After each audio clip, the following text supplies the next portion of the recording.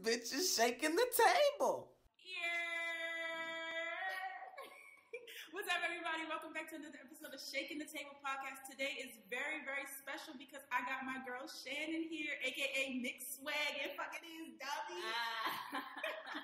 What's happening? I had to do the Baltimore fucking is dummy. So basically, y'all, today you're finally getting what you asked for because y'all ask me all the time in my DMs um, to talk to y'all about travel tips and find a real person, not no micro influencer, not no Instagram baddie, a real person who takes trips and budgets for them, plans for them, and actually has a good time doing it. It's not like she's doing a shit for show. Like she's actually going to talk to y'all about um, what I guess where her desire to comes uh, comes from to travel and what she does for a living and how she actually makes all this shit happen. Because Shannon just got back from Jamaica. I'm hoping she adopts me by the end of the episode. so Shannon, let's start off um, so the audience can kind of get to know you. Who are you? My name is Shannon. Um, born and raised in Baltimore, Maryland. Uh, What do you do? IT support. Um, Okay, okay, so that's why she taking Yeah. trips. Like, y'all been hired, yes or no? And I just moved to New York like seven months ago. So, yeah. New York by way of Baltimore. You know the vibes. okay. So, what drives you to want to travel so much? Like, what is it that gives you, I guess, the travel bug, as a lot of people say?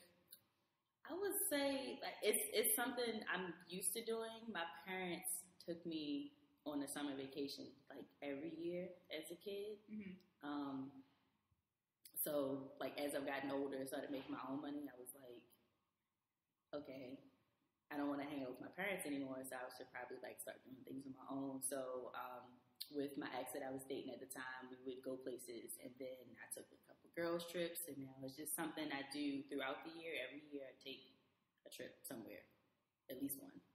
Okay, so let's go back to 2019. What are some of the trips that you've taken, and which one was your favorite?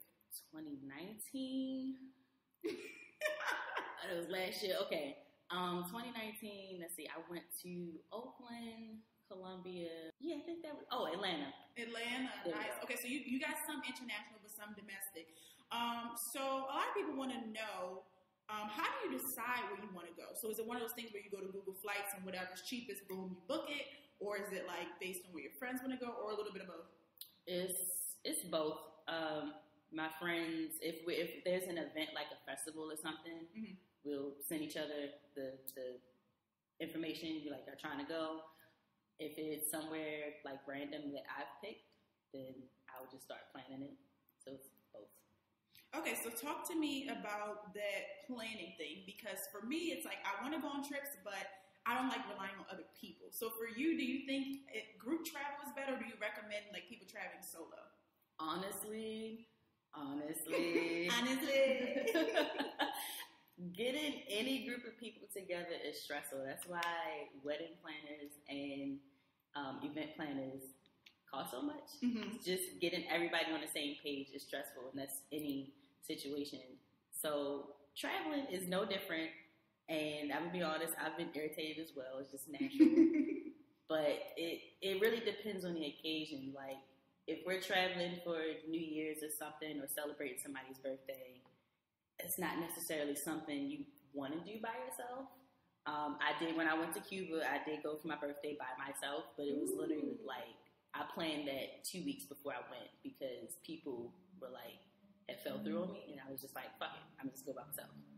Um, but it's not like I purposely look to go solo all the time. It's usually my last resort where it's something I really, really want to do, so I just go. But Mhm. I do reach out to my friends first to go.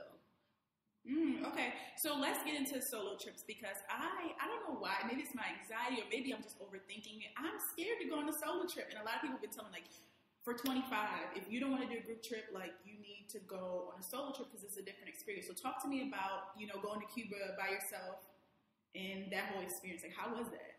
Cuba was great. I would definitely go back or retire there, one of the 2 But Cuba, Cuba specifically, so with them just reopening, like being able to travel there, they're not. It's not um, over touristy. Um, there's not a lot of people trying to like sell you things all the time. You might want it to, especially if you're in a group of people. Um, and it's like it, it's kind of like it, it's still in its natural state because it hasn't been over touristed yet. I don't even know if that's the word, but y'all know what I'm trying to say. Yeah, like you, you sometimes you go places and it's just like it's a bit much, like Times Yeah, Square, Times Square yeah, type thing. Yeah. Definitely. Um, and so the other place, in contrast, um, I went to Oakland for a weekend by myself. Um, and it was like I was there for a festival, and it was like very relaxing. Mhm. So it's it's um I would say like start small. Like I started small by kind of dating myself. I would go to the movies by myself. I've been out to eat by myself, and I was just doing a whole bunch of things by myself. I would leave people. I, I had went to concerts by myself, Really? and I was like, the one thing I hadn't done by myself was go to a festival.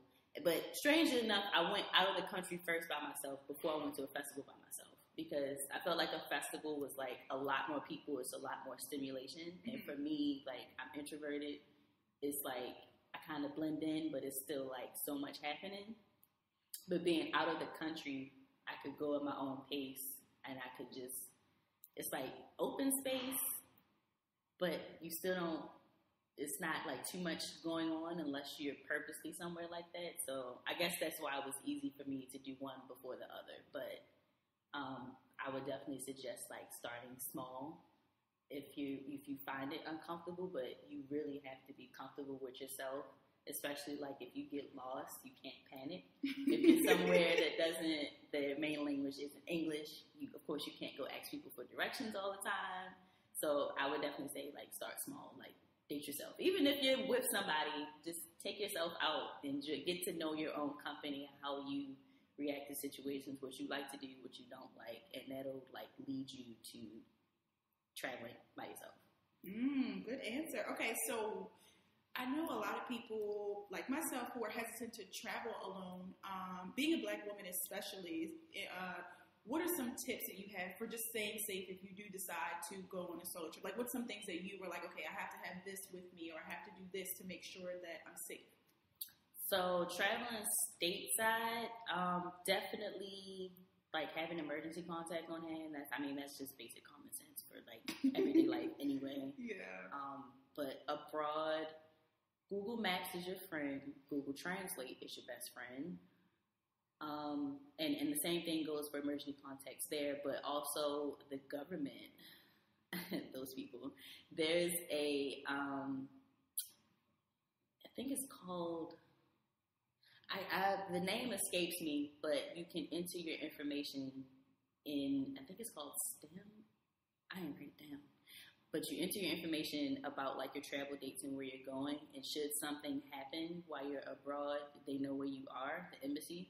Really? i wish i knew the name of it. Step. Yeah it was a letter off. The step travel.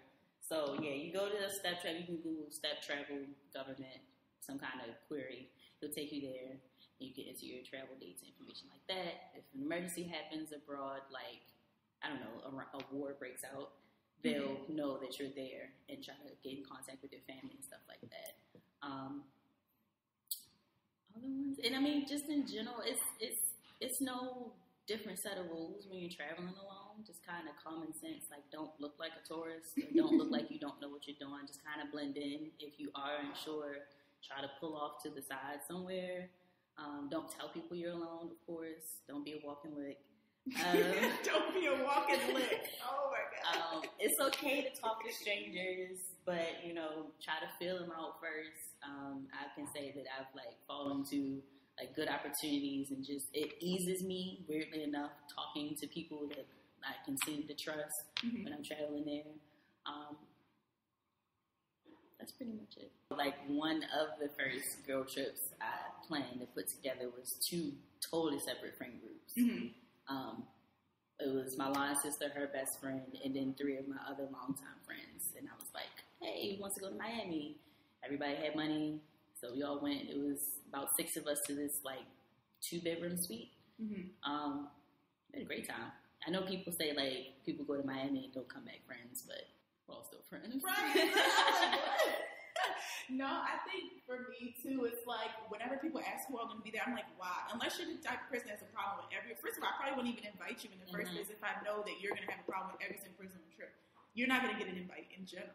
So Mhm. I just found that question so interesting, and I wonder how other people like navigate that and go about that. Like, you know, it don't matter. Just pull up. Either you gonna pull up or not. basically. Um, so that t- kind of ties into how do you decide who goes on trips with you? Do you pick people that you know are gonna have a good? Because sometimes with the friends that turn up with you, they ain't got the fun. So how do you like go about that? Do you invite everybody, and then from there you just free? So, I'll so usually I ask my closest friends first, like what their budget is looking like for the dates I want to go, Mhm. um, and then I'll go from there and like expand it to be like, okay, you think such and such would want to go? Because we kind of all have the same circle of friends.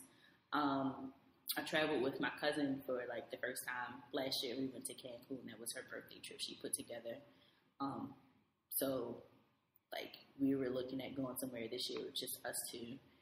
It, mm, yeah, that's that's pretty much the only method I have to it. I ask my closest friends first. If they can't go, I'll you know ask my line sister. And now that my cousin's a part of that pool, I can ask her. Um, I guess that's just a benefit of kind of like being a floater. I have different friend groups, and I do try to make sure like I keep our budgets reasonable so that the pool of people that can go it's you know, can go. Um, but I don't really have like a specific set of people for like certain types of trips.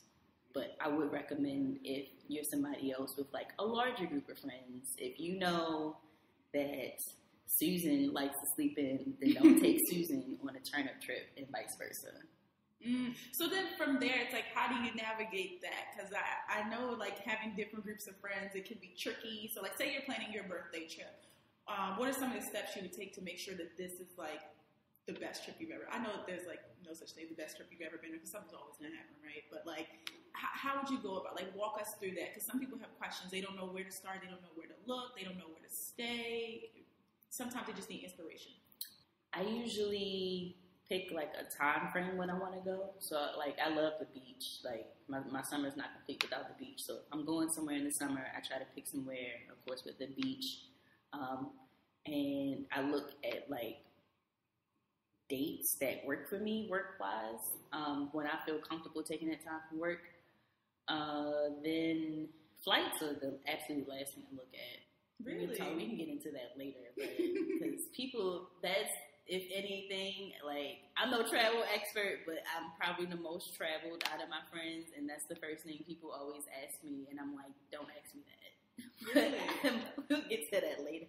But flight, flights are the last thing I look at, but I definitely like pick out dates and like a time frame first, and see what places are best for those dates. Because some some places, especially international, have like high travel seasons Yeah, yeah. and they can be more Rainy expensive. seasons. Yeah, Mhm. things like that. So, uh, dates are first, then a destination. Um, I don't really have like a specific budget budget, and that's probably a privilege to me. I would definitely suggest doing a budget. Don't be me in that regard.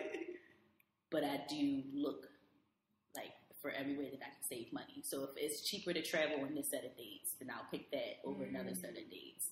If um,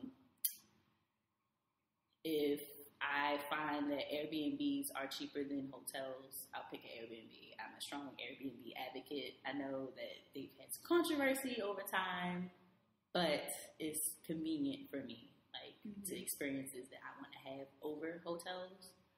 And you get the whole place. Yeah, I, I usually get like whole places. Um, a couple times I have stayed in like shared spaces, Mm. but I always read reviews there. Uh, when we went to Colombia last year, it was like an apartment style Airbnb. It was like a it was a duplex, and it was so nice. Like it was it was like my best friend and I had our own bathroom on two different floors, and it was like um, my my bed was on a loft. Um, it had a little kitchenette and a, a sofa. Um, check-in was late because cleanly was late, but um, with its accessibility to like different parts of Cartagena, like that made up for it. I wasn't even mad. Like that was, I can say that was like my best birthday. Aww. So I I like, really want to go there because I heard like um, I guess I should say black, right? I don't know if like if there's a specific term for like black people over there, but um, I just heard it's so like rich in culture. Yes. So talk about that experience, like just going out and venturing out. Um, what did you guys even do? Like, give me the tea. We did so much. We did some carts. So when I first like figured out Cartagena, because I think that was that was another trip. Like decided off the fly. I was like, where am I gonna go for my birthday this year? And one of my good friends, she had just went to Colombia, and I think I saw one other person in Colombia, and I was like, I'm just going to Colombia. so my dad actually helped me with the Airbnb as a gift. And not thinking, we spent all seven days in Cartagena, and I was like, dang, we should split it up. But by the end of the trip, I was glad that we just did the whole seven days there because it was so. Can I cuss? I It was so fucking hot. It was so fucking hot. It was it was so motherfucking hot. Like Mm. as soon as I got off the plane, my gloss, my glasses. What time did you go? What time of year? It was during their whatever lunar shit be happening. Um, like like daylight savings time. That was it. Their summertime is our winter. The summer solstice. I don't know. With Good to know. with astrology girls at one of them things. but it was I, I stepped off the plane, my glasses just fogged up. It was so fucking hot. So there were days that we just slept all day and left out for dinner. Mhm. But it was relaxing. Like if you if you visit my Instagram and see the highlights, like it looks like party, party, party all the time. And it was a lot of partying, but there was also a lot of fucking sleep. So it was it was a really good time. And Cartagena specifically is like the party city. Really? Okay. Um, over there, it's it's like it's very much. Um, it reminded me a lot of New Orleans, like the Mhm. streets, because some of them were like cobblestone and like just kind of raggedy, but drivable. Um, oh, driving is terrible over there too. I meant to ask you that about like um, getting around when you're overseas. What's that experience been like for you? So, um, so overseas. So, like my first international trip was in Antigua. There's taxis there, and they're fixed. They're fixed rates. There's literally like a readout of how much they're supposed to charge you. Uh, let's see, Cuba. Cuba, they can charge you what they want, but if you are a little brown and can speak some Spanish, you can negotiate it. If you're white, I'm sorry, they probably won't try Sorry to to get you Sorry to this man. um, Cartagena is fixed, but they will also try to get you. But my Spanish is like very intermediate, so um, by like the second day, we got it down. It was whatever. They do have Uber there, but it is not reliable because it's not legal. Uh-uh. we took Uber once, and it was like a ten minute wait. There's, there's a couple places where I wouldn't do Airbnb. So Cancun, we stayed on a resort, In Jamaica, Mm, we literally figured found where we were going to stay at two nights before because the original place we were going to stay was an hour away from where we were, or a couple hours rather, from where we were flying into. We flew into Montego Bay. We were going to stay somewhere in Clarendon with my friend's friend that lives there, but it wasn't safe over there. She was like, her mom doesn't let her go out at night, and we were Wow. like, oh, that's not the vibe of this trip. So we got to figure out where we're going to stay before we leave for this flight in 48 hours. So, so we found a, a, a really nice bed and breakfast. We actually made out really nice. It was on a hill. It had really nice views. It was like ten minutes from the airport. Um, smoke friendly. Had a smoke shop next door. Um, the owner had this cutest, ugliest dog. It was like had like a, it had one of those underbites, but it was so friendly. It was and fluffy and cute. And I mean, we, we out really good. So there's some places like I wouldn't do an Airbnb at all. That's one of them. But it was a bed and breakfast, so it still gave me the Airbnb feel. Mm, okay, so I remember this is me like insta stalking you, of course. so I remember on your story one day you had these envelopes against your wall, and they like they had uh, places like destinations. Tell the listeners like what what do you do? Is that how you budget? Like what are those envelopes, and are they working for you in terms of like budgeting and saving for these trips? So they were actually sticky notes. Girl, and I had like the destination. So last year I kind of had in mind where I wanted to go for the year, or just a mental reminder because I would like the festivals. I would buy tickets to them and be like, "Oh shit, I didn't buy my flight," because again, flights are the last thing I get. Mhm. So I was just writing down the destination, the flight in, flight out, because um, we're going to give an early flight tip, sometimes it's cheaper to buy them separately than round trip.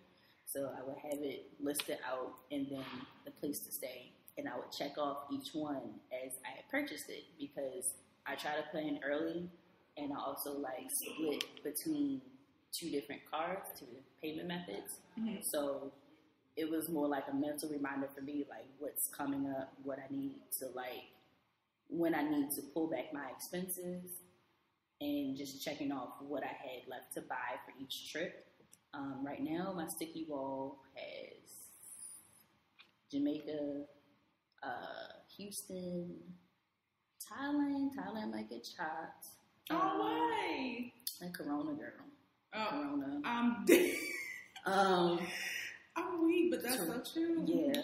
It- 2021 might have to catch me. it- I'm sad about it because I really like. I was ready to take my talents overseas. Mhm. I'm I'm done with the Caribbean and speaking Spanish. Like I'm ready to like go over the ocean, but I'll figure it out. Um, let's Houston, Thailand, Jamaica, Toronto, and I think I had like one more international in mind. I'm really, really, really like leaning towards Iceland.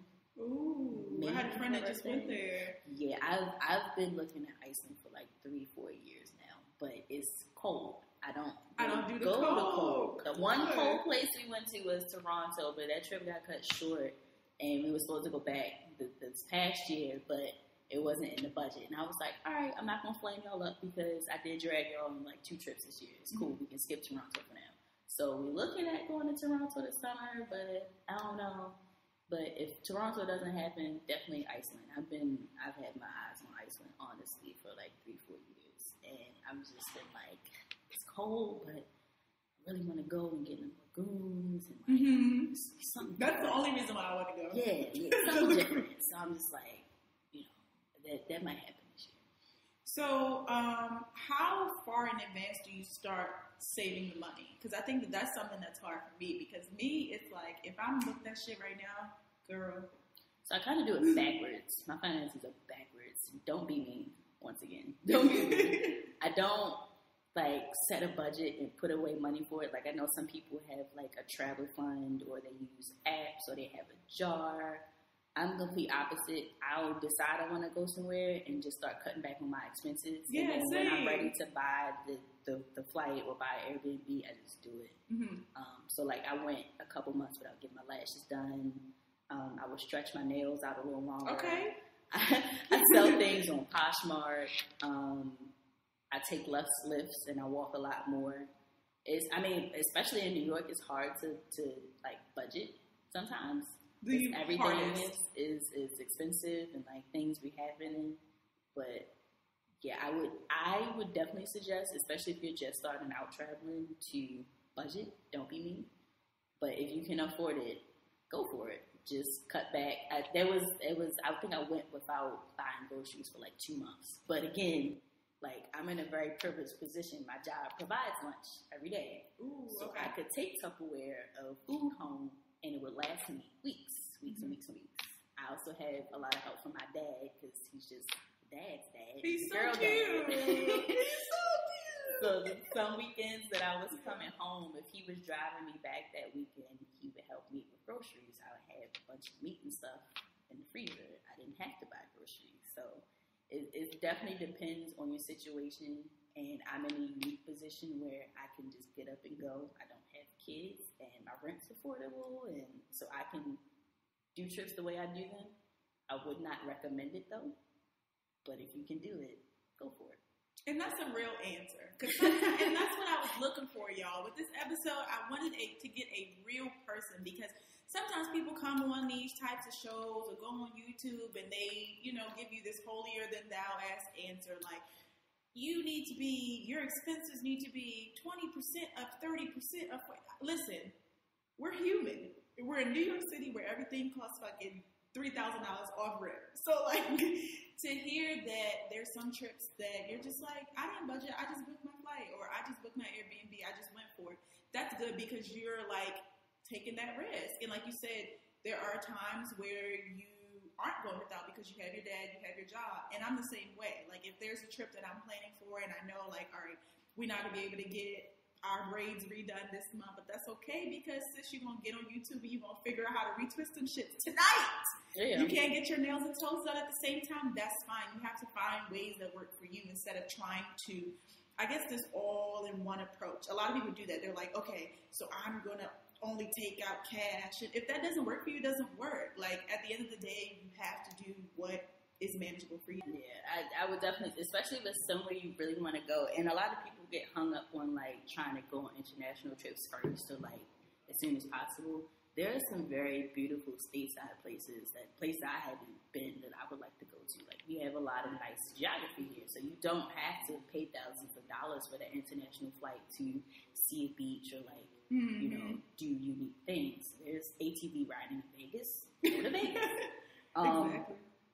but Phoenix and Arizona and Colorado and them got nice rock formations. You can see um, the, the white presidents over there somewhere. I mean, if you want snow, we, we got, you know, the further up north you go. It, I mean, it, it's stuff here, so don't get hung up on like going somewhere internationally.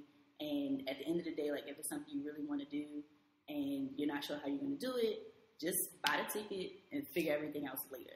Like, Honestly, because because if you spend the money on the ticket, you're not going to waste it, especially if it's a non-refundable one, which are the cheapest. So you know, give yourself enough time to figure it out, and just figure it out later. Um, but yeah, that, that is it, my way is definitely like unorthodox, and I'm in a very special position to do that. I'm gonna get better.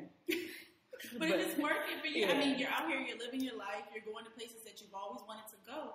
I feel like to some people, like that's part of the dream, right? Mhm. Like if it works for you, it works for you. And I think that sometimes, like especially on the internet, like today in so, today's social media age, we get so caught up in the destination versus the journey. Like Mhm. think about how cool it is to say like, oh, I planned a solo trip to go to Thailand and. This is how I saved up for it by eating cereal, frosted flakes every single night. Man, that. Cheerios was good. Let me tell you. I mean, yeah. And so instead of, I would rather do that and then get to go to my dream location than to be like, oh, I'm only going to save twenty dollars a week and I'm going to put it in this container. Like that's just so like unorganic. me. There's not enough Yeah, risk in yeah, that. it's not enough risk in that. It's so inorganic. And then also like think about how like out of your way that is. Like for me, budgeting and saving shouldn't be something that like takes so much out of you. Mhm. Like it should you if you're gonna find something that works for you, find something that you could easily do. Like okay, you get the the Mint app that shows you how much you're spending on un- unnecessary shit. If that notification helps you out, save you from spending fourteen dollars a week at Starbucks, do that. If the Digit app helps you, which I don't really mec- recommend by the way, I had the Digit app.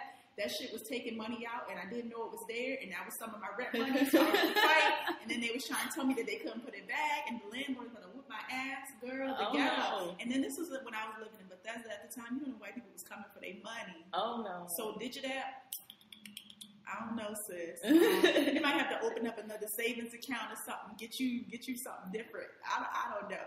Um, but I wanted to ask you too. Are there any special um, credit cards or anything like that that you use that gives you like travel rewards? I know sometimes people have like the Discover card or like Chase rewards. Is there anything that you have? I use Capital One. Ooh, okay. I was actually late on the credit card thing. I only got a credit card when I realized, like, okay, I'm going to keep traveling on these big trips, and I might as well like invest in something that's going to help me uh, build my credit, but also like help me like divide my expenses. I was paying for everything off my debit card. So I got the Capital One. Um, I don't remember the name of it, but it's the one that gives you travel rewards because they offer. Is it Venture? Yes, Venture. Venture Capital- One. Oh, okay. because they offer a few options. Um, the interest is higher on the other ones. I have the standard venture one. I get tra- uh, uh, flight points, flight miles with all my purchases, but I can also erase travel purchases. So if I spend, if I use that on a Lyft, if I use it for flights, um, I think gas stations are included. I think. Don't quote me hmm but um, most most travel expenses I can erase, and that's less money I have to pay. Um, and you can use your miles and book flights directly through their flight um, rewards section. Um, also, I recently found out I don't think they advertise it, but uh, Lyft is partnered with Delta.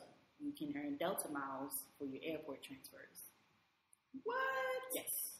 So if you're taking the airport to, I'm not taking the airport, taking Lyft to and from the airport, wherever you're going, you get miles for that. You just have to connect your account. So Mm. I just finesse. I think I have an account with most major airlines. Um, I'm not loyal at all. whoever has the best price, whoever has like the best layover situation, I just book with them. But I'm always getting something back because I have an account with them, and I try to use my credit card when I pay it down, so that I can get miles on my credit card as well. Like I just make sure I get something out of all my purchases, pretty much. Mhm. But Very smart. Very smart. those are those are two tidbits. But I definitely recommend a um, some kind of like travel credit card. I've heard great things about Southwest, but I'm not ready to open up any credit card. Girl, same shit. I can barely manage the ones we got. Um, I also want to ask you because I know sometimes there are um, different like newsletters and stuff you can sign up for. Like I'm not sure if you've heard of like Scott's cheap flights and all that. So are there any um, uh, Twitter pages or newsletters or whatever that you subscribe to to get these flight deals? Yes, I love Scott's flights. Even though I don't really book when they say something, um, I'm gonna just go ahead and drop the flight tips now. So don't buy your flights um, out further than 30 days because shit be happening, life happens, um, and you can prices change. So the reason I get kind of agitated when people ask me about flights is because if you're not ready to buy when you ask me, don't ask me because Mhm. whatever I find is what the price is. Depending how close to the date you're trying to leave, it's probably not going to change. It's probably going to go up. But if you find a good price on a flight, buy it. Um, I use the Hopper app that will alert me like when prices will go up or go down. Google also offers that like a, a chart that gives you like an estimate about like the price range or whether the likelihood of it going up or down. Um, Momondo, it's been like really missed as of lately. I used them once in the past, but Momondo is one of those sites that will actually like, so it'll display your flight options, Mhm. like what, wherever you're trying to go, and you buy it, and it may be a cheaper price than what's on other sites, and that's because they actually negotiate for you. So like they'll offer you the flight at this price, and like these kind of sites get mixed reviews because people don't are not understanding how it works. They're like, oh, you know, that's not the price that was shown to me, and I end up getting charged this, and they called me and said this, that, and the third.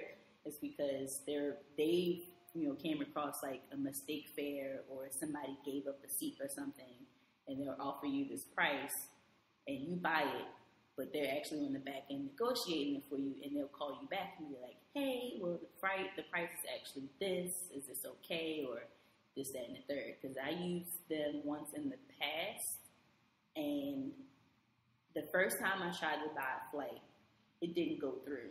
It actually, um, I got like an email. It said like it's pending, and I was like, well, "What does that mean?" So I was at work, so I just left it alone. But then I got like another email where like I checked it again, and it was like it failed, and I was like, "Well, what does that mean?" So I'm thinking like it's something wrong with my card, but I did some more research, and I was like, "Oh, you guys." Don't actually have these tickets yet. Yeah. You're negotiating. So I just went through it again because I thought it was a scam. I was ready to knock all that shit over. But then I looked at it and I looked at the views and I was like, I get it now.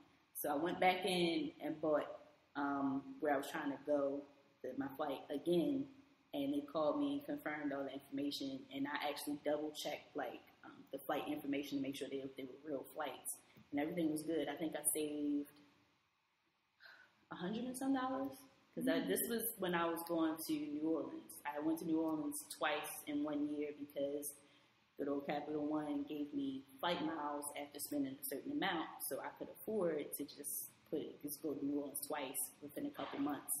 And um, only thing I needed to buy was my flights, and that was how I kind of like saved more money that way. But yeah, I forgot the original question. But it was something related to flights. For me, that's good because I know I do like Hopper app, like you said too. Um, and was a Skyscanner, Just Fly, Oh, all yeah. those ones. Yeah. Just Fly was a stressful ass experience I think I unsubscribed to them. I think Yeah. I unsubscribed to them and Skyscanner because they, first of all, the emails are very like busy. Oh my god, I. I don't know, like I, a I lot of fine print too, and I fine don't. print and I don't do commotion. Like I get overstimulated kind of easily, and whenever they would send sending emails and stuff, it'd just be big numbers and they're yelling at me. It'd be like random Book now, places. one to two days. Yeah, it's stuff I'm not trying to do. So I think the only thing I'm subscribed to now is, is Scott's Secret Flights. Um, they're pretty cool. I was mad because the week after we, we figured out a Colombia situation, they literally sent me an email with like lower prices. And I was like, Mm. They did a tweet the other day that was like, um, they found a way to get like the cheapest flights Mm-hmm. um, from whatever location. So you just send them an airport in that tweet thread, and then they'll send you like any destination. So if you're like, hmm, I think I want to go to Dallas, but I'm not really sure. Or if I want to go to Dallas, but I also want to go to Honolulu, like, is there a connecting flight that will take me to both places for cheap? And they'll give you all that information. I was like, okay, I see y'all trying to get those subscriber numbers. Scott's is good. There's another But that's probably my favorite one. Yeah, I can't think of the other page I follow, but I don't think they tweet that much anyway. Also, tend not to like read my timeline a lot. Just get on, and say things, and leave. but I see them from time to time tweet stuff, and the name escapes me. But yeah, definitely that's that's um, those are sources that you want to get into to like see just what options are available to you. And, and like you know price different things. Mhm. There's there's other options outside of Google. Yeah, because I think sometimes Google gets on my nerves with that whole like once you look up a flight, they gonna keep sending you alerts. It's like, all right, I was just looking down. But I think Hopper, in terms of like all the apps and different ways that uh, I like try to look up ideas, Hopper's the best one because you can put in any random date. You're like, mm, I think I want to go to Asia the next six months. Um, or like the next two months, and here's the weekends that I'm looking at, and it literally shows you like green, yellow, or red. Mhm. And that I, some people like hate that. They're like, oh, it's too stressful because the weekends I want to go, they never have anything. But it's good to look because sometimes um, you could be like, okay, I want to go to Costa Rica, but I don't know if I want to go to San Jose, San Jose, or I forgot the other place, Liberia. I don't freaking know. I don't even speak English. I told you, so I don't even know these places' names. But whatever. It's two airports. Damn it. Um, and it's like you don't know which one you want to go to, but maybe San Jose is like three hundred dollars more for whatever reason. We were looking at flights to go, and I was like, "Why is it so expensive?" It was Easter weekend. I'm like, "The damn Catholics turning the hell up." uh, that's why everything was so expensive. So I would recommend like all the ones that we pretty much said, um, and then also like sometimes I just randomly search on Twitter like a, a location that I want to go to. Like um, when we were going to Barcelona, I literally just typed in like Barcelona destinations or something random. And it was like all the, the different places that this one girl went, and she like had a whole blog. oh and, it- yeah, and I was yeah. like, "Damn." okay. I mean, it sounds like you got this shit together. Okay.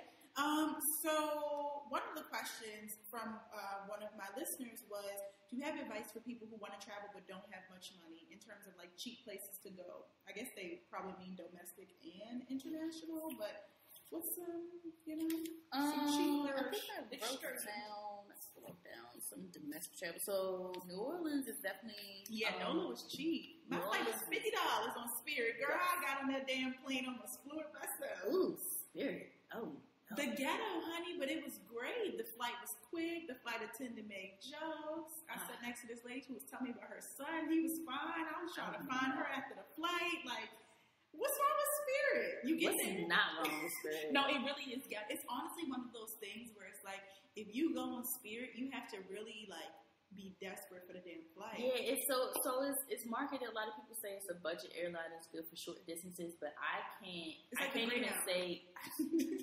Big Greyhound sky. I can't even say that I would recommend it for that because they're unreliable. Like if they were reliable, sure, I would have took one this weekend to go see my cousin. Mhm. But I was just like, I can't do it. Like even by the time you pay for your bags or like the, the fees that, that you got to pay for stuff that's given to you in other airlines, I've heard horror stories about them losing people's bags Mhm. and um, flights being canceled at the last minute. I think one of their pilots was doing coke. I mean, it's just. Ga- it's I mean, not, I'm pretty sure that the pilot pilots are stressful anyway. So I'm pretty sure everybody's doing some type of coke anyway. but Twenty hours. you know, you don't let it get out. The, the whoever, but Mhm. spirit is just out of the question. But definitely like domestic travel wise, New Orleans is great. Um, of course, New York. I mean, I'm still surprised when I hear people say they haven't been to New York because it's Yeah, right here. what? You can get on a bus and come here. Um, and feel like Philly's a good place too. Philly's good. I went to Philly for it was like a day trip. Me and my friends went to um, the Meek and Drake concert, and we saw the what's that? Sylvester Stallone, the, the what movie was The that? Rocky joint. I don't, Yeah, know, the Rocky I don't know Steps. what they call. Yeah, Yeah, yeah. I call it the Rocky Steps. Yeah. That's a yeah. That's a nice little day Yeah. excursion. We Okay. went early, we saw the steps, and we got drunk somewhere. And, um, or we saw the love sign. It was, You know, cute little day trip. Um, Philly's good. Uh, Texas. I haven't been to. I haven't been either, but that shit is cheap as hell right now. I'm looking at Houston for this year, so I'm gonna go little Literally. trip somewhere because I want to. We were looking at Airbnbs, like big ass houses, like five bedroom Yeah, the real estate down cheap is crazy. Three hundred dollars the whole trip. um, Miami. Miami's a good time.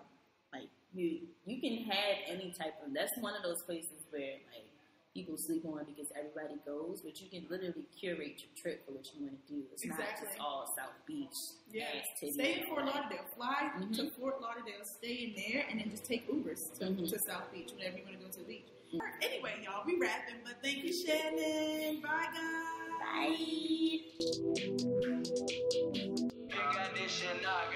Bye.